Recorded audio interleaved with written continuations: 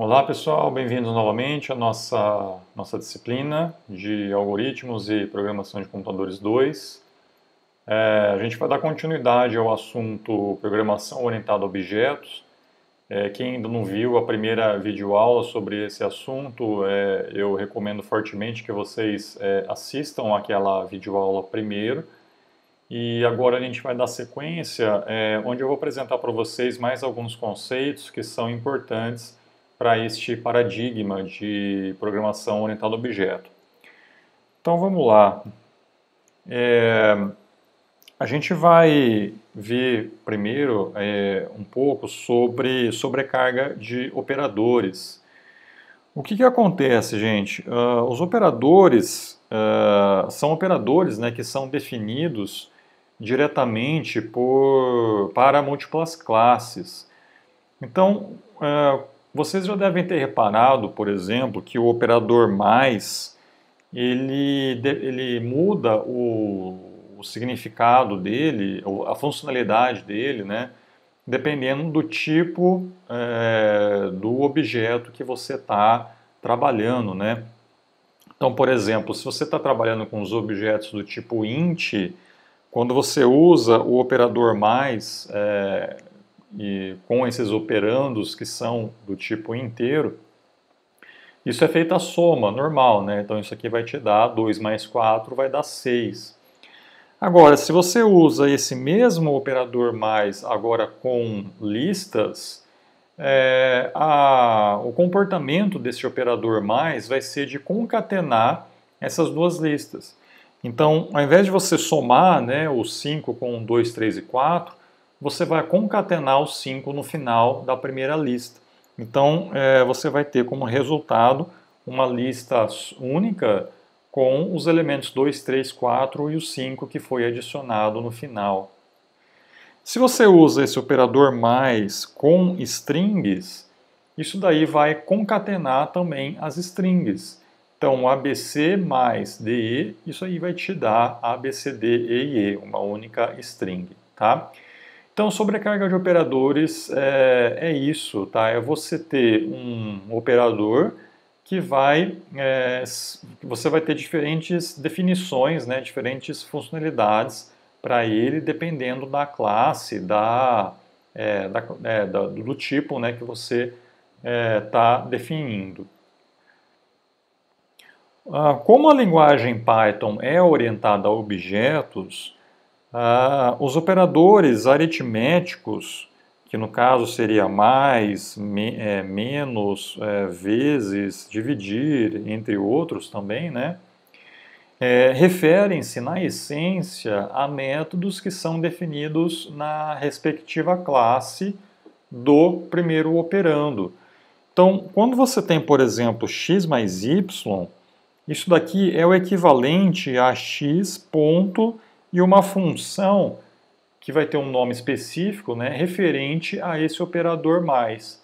No caso do operador mais, a função respectiva dele é essa função aqui, underscore, underscore, add, underscore, underscore, entre parênteses, o segundo operando. Então, o, quando você faz x mais y, isso aqui pode ser traduzido para x ponto underscore, underscore, add, underscore, underscore, entre parênteses, y, tá? E, e esse método, então, add, né, ele está definido na classe do primeiro operando, que é esse x que está aqui. E esse x é o que? É um int. Tá? Então, o int, você também vai ter uma classe específica desse tipo, onde nessa classe vai ter essa função lá definida para é, para você ter ali né, como que vai ser feita essa operação é, se você estiver trabalhando com ints, né, com soma de ints. Tudo bem? Vamos ver um exemplo na, na, na prática é, da nossa classe point que a gente é, implementou na videoaula passada então vamos ver como que ficaria esse método add é, implementado dentro desta função. Então, olha só, eu tenho aqui aquela implementação que a gente fez na videoaula passada. A gente criou a classe point, adicionamos os métodos init, setX, sety, get, move e o repre, tá? É, Para quem, quem não lembra o que, que, cada uma dessas funções faz, é, de, assistam novamente né, a videoaula passada.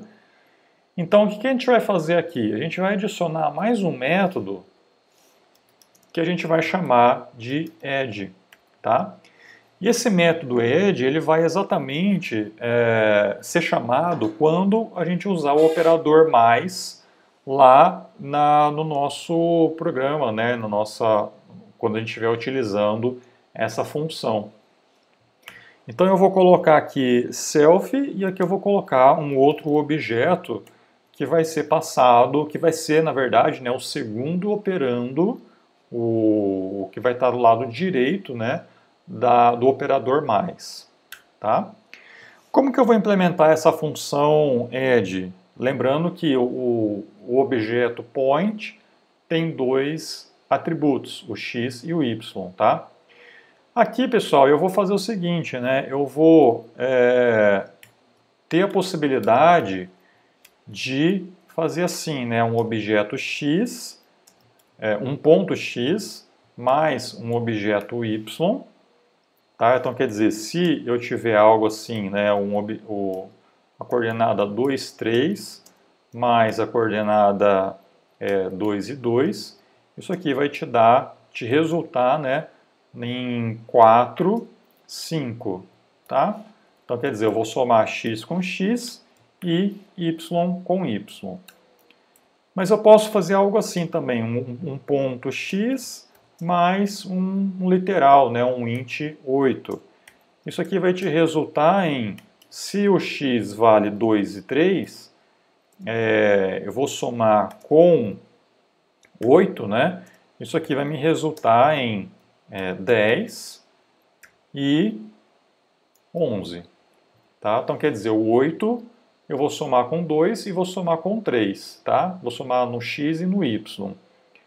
Então eu tenho que definir essas duas formas, tá? Então dependendo do segundo operando, que é exatamente esse order que está aqui na função, eu vou somar x com x e y com y, ou eu vou somar esse order, que vai ser um int, com x e ele mesmo com y, tá? Então eu tenho que verificar inicialmente aqui qual que é o tipo desse order. Se esse tipo for um point, quer dizer, o segundo operando é um ponto também, aí eu vou é, retornar um outro objeto, tá? Então por isso que eu estou colocando esse point aqui, quer dizer, eu estou instanciando é, um terceiro ponto onde eu vou passar aqui como é, parâmetro né, os valores de x e y, que é o self de x mais o order de x. Isso eu já sei que o order é um ponto, então por isso que eu consigo usar order.x, tá? E o self.y mais o order.y. Caso contrário, quer dizer que esse order é um literal, é um int ou é um float, tá? Então daí basta eu fazer também a criação de um, um outro objeto, onde eu vou somar x mais o order e o y com order também, tá bom? Então é isso, né? Essa daqui foi a, a extensão né, do nosso, da nossa classe point. Estou colocando novamente ela aqui na memória. E agora eu vou criar então ó, um ponto 1 e 2, por exemplo, tá? Então eu tenho aqui o meu P, ó, 1 e 2. Agora eu vou criar um outro ponto Q é, com 3 e 4 Vou fazer agora P mais Q. Então ele me deu ó, 4 e 6, né? ele somou 1 com 3 e 2 com 4. Tá? Ele criou um outro ponto para mim com os valores 4 e 6. Se eu fizesse, por exemplo, P mais 2, ele vai pegar o valor de P, que era 1 e 2, e vai somar 2 em ambas a, os atributos, né? 1 e 2 virou 3 e 4, tá bom? Então, em, em qualquer caso, o operador mais vai é, chamar automaticamente essa função add aqui que está definida na classe.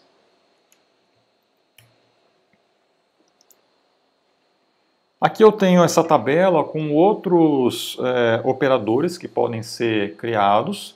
Então, se você, até fica como sugestão aí de exercício, vocês usarem para essa classe ponto, é, implementar né, outros métodos como esses daqui, para vocês fazerem essas operações aqui é, diretamente lá no programa. Tá? Então fica como sugestão aí de exercício. Outra, um outro conceito, pessoal, que a gente precisa ver nessa, nessa videoaula é, sobre PO é o conceito de herança. Herança, pessoal, é uma técnica muito importante né, de, de programação orientada a objeto que é usada para criar e organizar classes que sejam reutilizáveis. É, serve para reutilizar ou alterar os métodos de classes que já existem e também adicionar novos atributos ou métodos é, em classes que são o que a gente chama de derivadas, né, que elas estendem classes que já existem. E isso tudo a fim de adaptar as classes a novas situações. A ideia então é a gente ter classes que sejam básicas e a gente especializar essas classes criando versões mais especializadas ou mais é, completas tá, daquelas classes é, bases. Então, olha só um exemplo: né? eu tenho uma classe animal. É, o que, que um animal pode ser? Um animal pode ser um mamífero, pode ser uma, ou pode ser uma ave. Já uma classe, um objeto ave, ele pode ser uma galinha, pode ser um pardal, pode ser um passarinho, tá? E reparem que é, uma galinha vai ter algumas características que são exclusivas de galinha. É, um pardal vão ter características que vão ser exclusivas é, de pardal. Só que ambas possuem também características em comum, que seriam específicas de ave de modo geral. Então, por exemplo, cor de pena é, pode estar definido aqui nessa classe ave, e aí, tanto a classe galinha como a classe pardal vão herdar da classe ave esse atributo cor de pena, tá? Ou, por exemplo, idade. Idade é um atributo que pode estar definido aqui em animal. Então, todo animal é um ser vivo e tem uma idade né, de existência. Então, é, você pode definir essa, esse atributo idade aqui na classe animal que vai ser compartilhado, é, que vai ser reutilizado né, por todas as outras classes derivadas, inclusive mamífero, cão, gato, dálmata, poodle, tá? que são versões mais especializadas aí de cão, gato e cão é, personalizados de é, especializados de mamífero e assim por diante, tá? Vamos fazer um exemplo de herança. É, suponha que a gente queira definir uma classe lista que seja diferente da classe list que já existe na linguagem Python. Tá? O que, que acontece? Né? Vamos supor que a gente queira definir um método chamado de choice, que vai é, selecionar aleatoriamente um elemento é, da lista que a gente tem ali criada.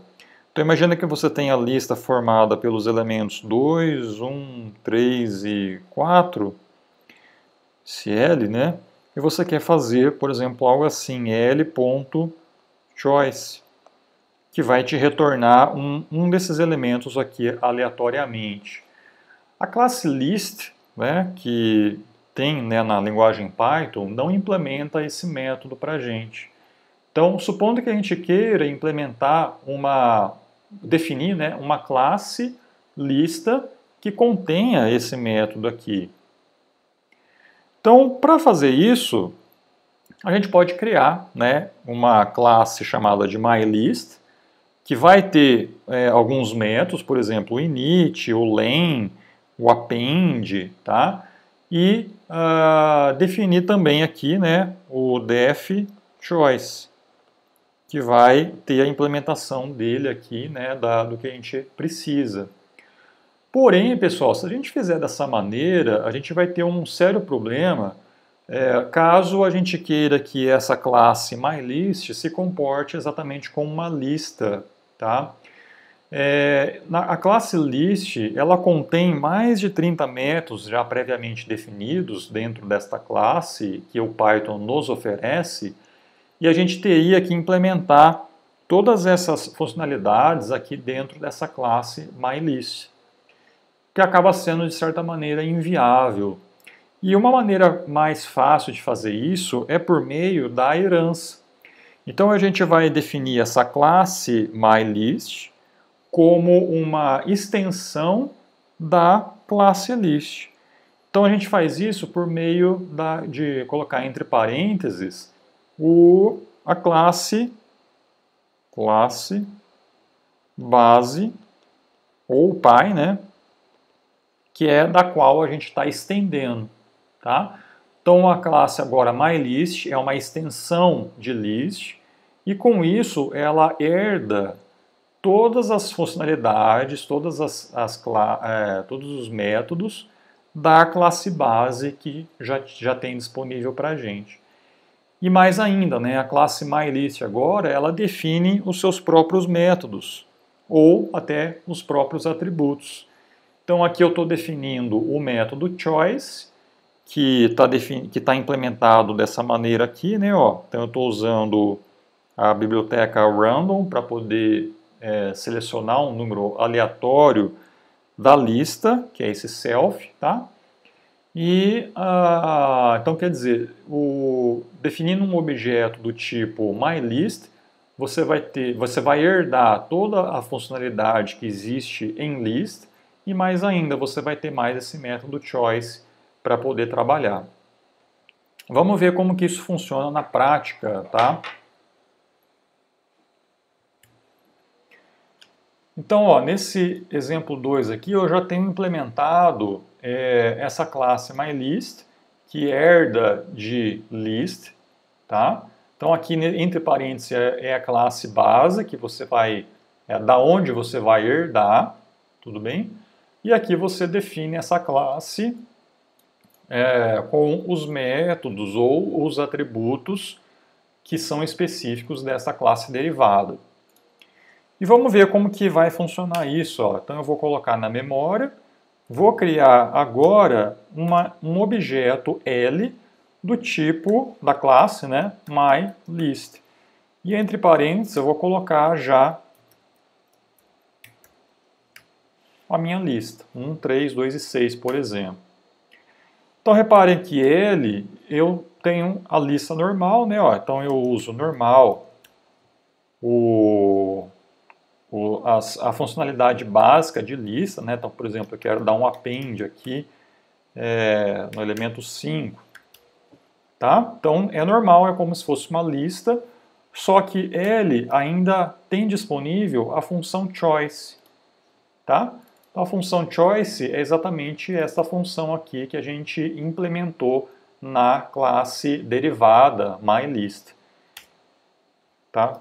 Então aqui, é, executando isso, ele vai te dar um número, um desses elementos aqui né, da lista de uma maneira aleatória. Então, é, a cada chamada de choice, ele te retorna um desses elementos encontrados de uma maneira aleatória para mim.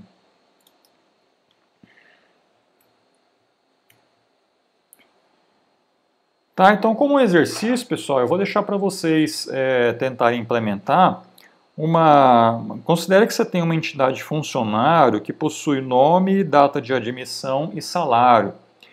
Então eu quero que vocês implementem uma classe que vai conter esses, é, é, essas informações aqui como atributos, É, definir também alguns métodos para, por exemplo, atribuir um nome ou alterar a data de admissão, ou alterar um salário, tá?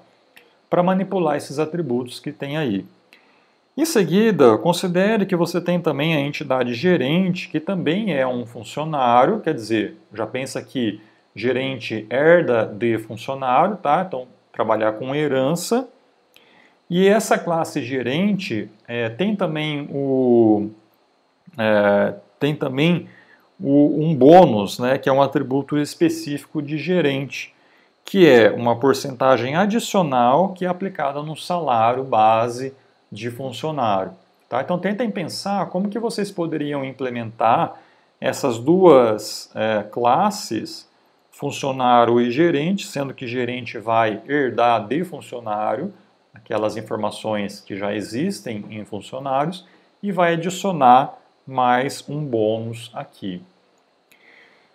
Tá? Então, é um exercício para vocês tentarem fazer aí sobre herança.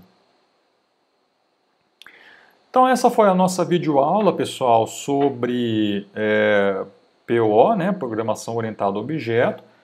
É, espero que vocês possam ter compreendido né, a sobrecarga de operadores, o conceito de herança, que são os conceitos aí mais importantes que vocês precisam saber sobre esse paradigma de programação que é orientação a objetos, tá?